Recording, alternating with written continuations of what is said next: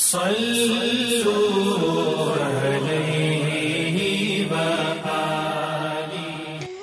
بسم الله الرحمن الرحيم حديث نمبر 24 عن ابن عمر رضي الله تعالى عنهما أن رسول الله صلى الله تعالى عليه وسلم قال أمرت أن أقاتل الناس حتى يشهدوا لا الہ الا اللہ وان محمد رسول اللہ حضرت ابن عمر سے روایت ہے، فرماتے ہیں کہ رسول اللہ صلی اللہ تعالی علیہ وسلم نے فرمایا، مجھے حکم دیا گیا کہ لوگوں سے لڑوں۔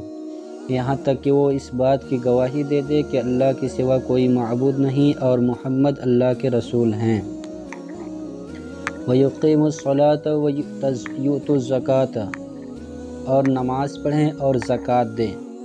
فَإِذَا فَعَلُوا تو جب وہ ایسا کریں۔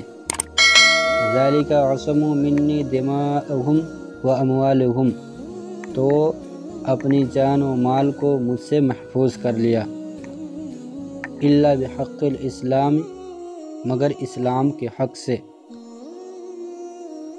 وہ حساب ہم اللہ اور ان کا حساب اللہ پر ہے۔ صلو علی الحبیب صلی اللہ تعالی علیہ وسلم۔